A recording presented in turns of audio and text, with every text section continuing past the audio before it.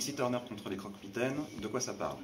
C'est une série en 5 volumes euh, des histoires de Nixie Turner, qui est en fait une, euh, une tueuse de monstres. Et justement, ça tombe bien parce qu'il y a des monstres qui sont arrivés dans un collège, et chaque monstre incarne euh, un problème qu'on peut rencontrer en collège, exemple le harcèlement.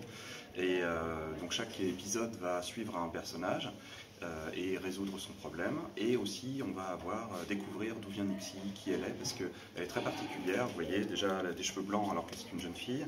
Et on va découvrir d'où elle vient et pourquoi, par exemple, les adultes ont l'air d'oublier sa présence très rapidement.